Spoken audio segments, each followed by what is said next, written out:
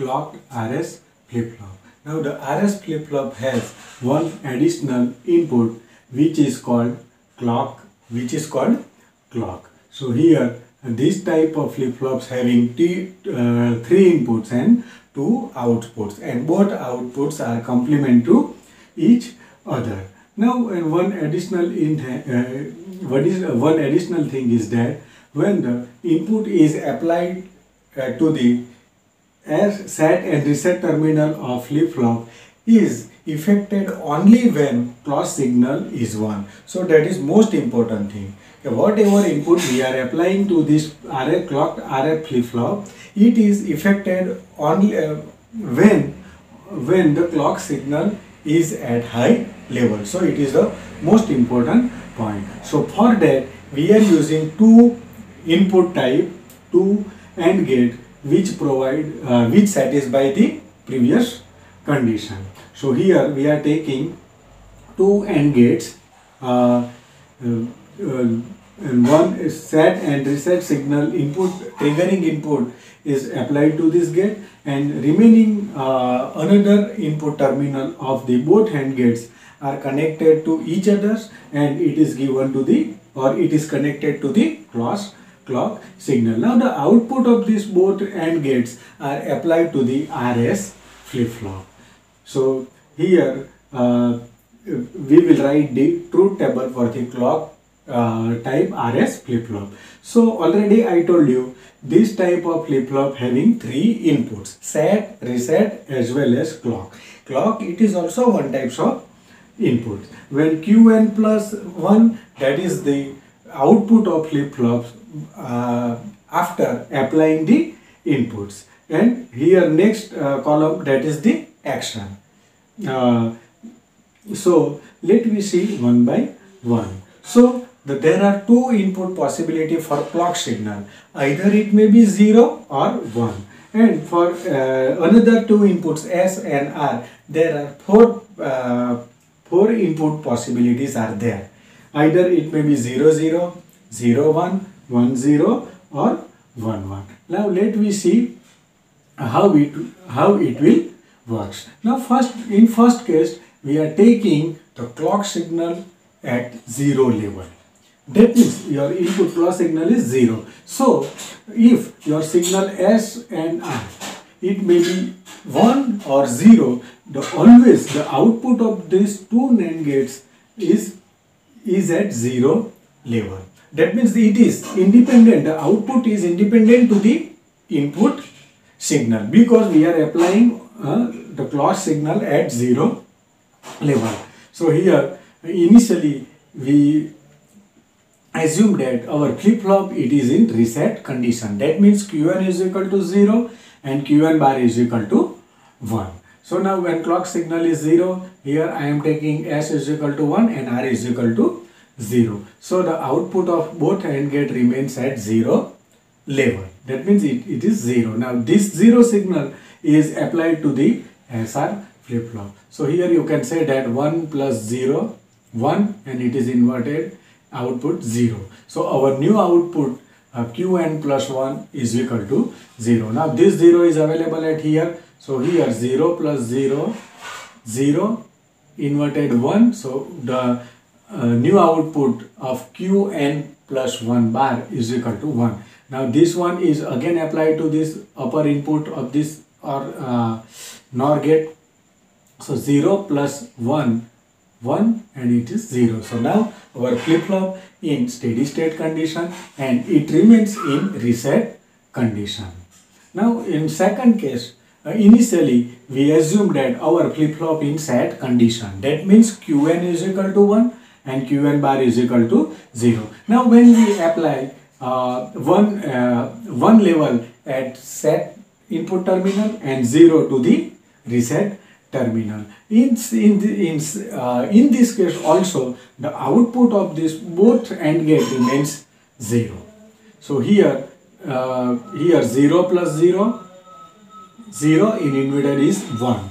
So our new output Qn plus 1 is equal to 1. Now this one is available at here 0 plus 0 0 and inverted output uh, 0 plus 0 0 and it is sorry 1 plus 0 1 plus 0 1 and it is inverted to uh, that means qn plus 1 bar is equal to 0 now this 0 is available at here 0 plus 0 0 1 so now our flip-flop in uh, becomes in steady state condition and still it is remaining set condition. So from that we can say that when our clock signal is 0 and r it may be 0 on 1 or s it may be 1 or 0 our flip-flops remains the new output of flip-flop remains as well as the previous output. So here we can write there is no change in the output so here I can write uh, our new output uh, will be Qn and there is no change. So if it is in reset condition, the new output also will be in reset. Uh, if it is set, then new output also in set condition. Now second case, when clock signal is 1 here and R is equal to 0 and S is equal to 0. So uh, initially we consider that our flip-flop in reset condition. So here uh, when we apply S is equal to 0 and R is equal to 0, that means the both output of NAND gates uh, are 0. Because clock is 1 but the S and R both are 0 that means 1 into 0 0. So 0 0 output uh, input is available at the SR flip-flop. So here we can say that 1 plus 0, 1 and output is, new output will be 0. Now this 0 is available here, 0 plus 0, 0 and new output qn plus 1 bar is equal to 1. Now again this 1 is available at here, 1 plus 0, 1 and is bar.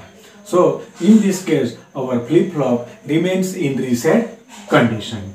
Now let me consider our flip-flop in set condition that means qn is equal to 1 and qn bar is equal to 0. Now when we apply 0 signal to the set terminal and 0 signal to the reset terminal uh, the output of this both AND gate uh, are at 0 level.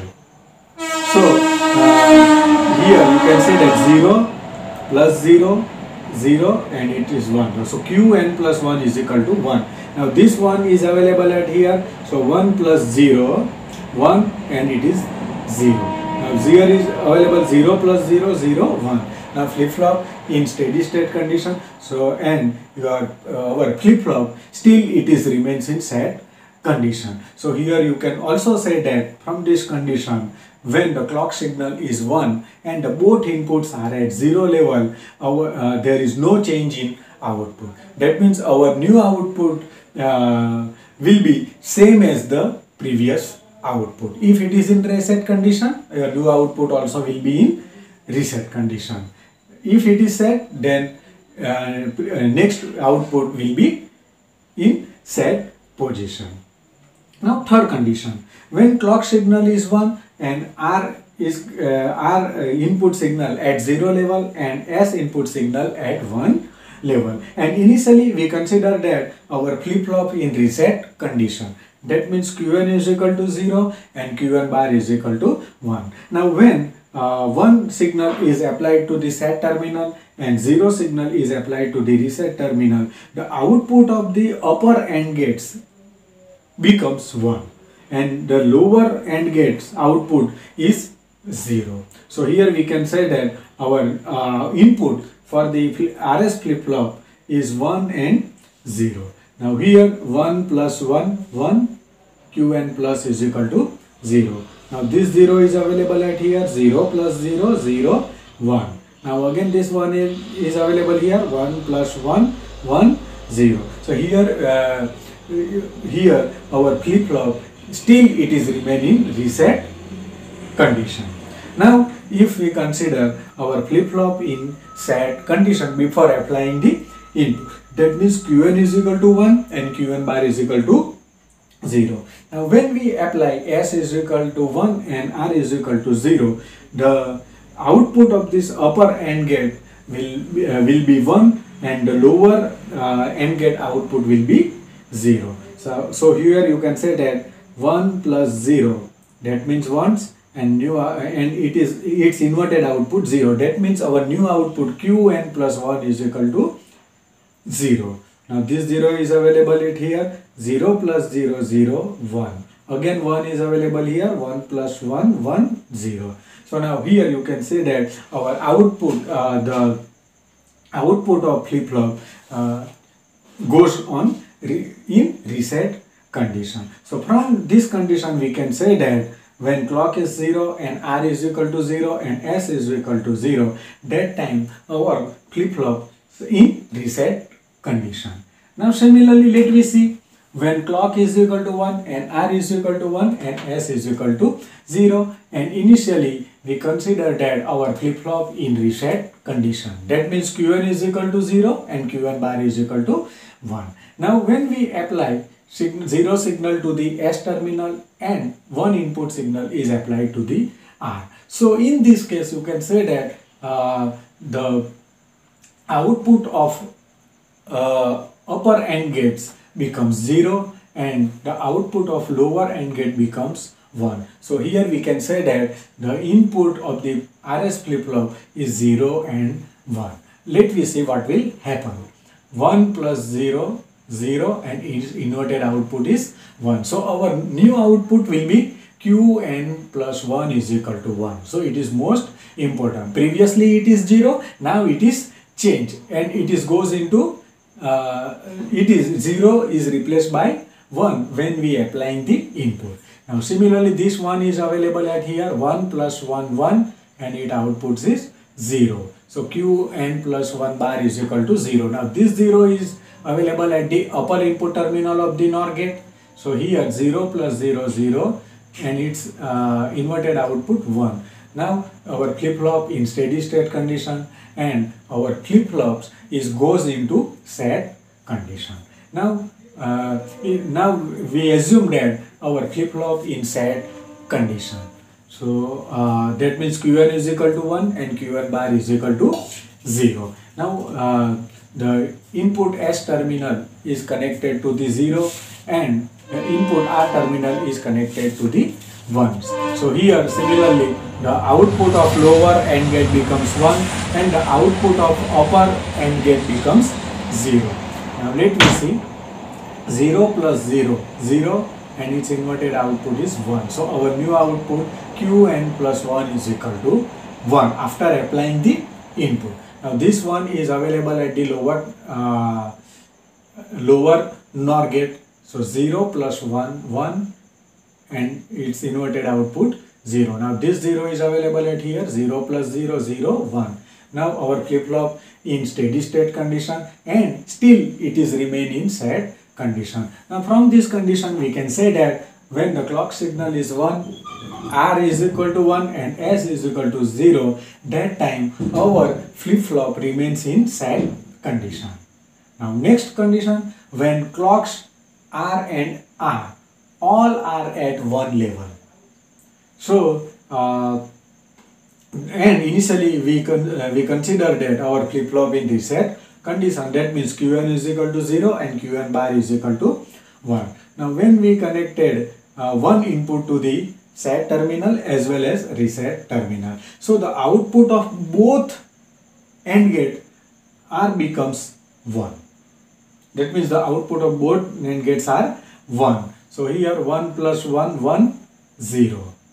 Now this 0 is available here, 0 plus 1, 1, 0. So here you can say that the both output of flip-flops at 0 level and this is not permitted by the flip-flop condition. So there is no permission.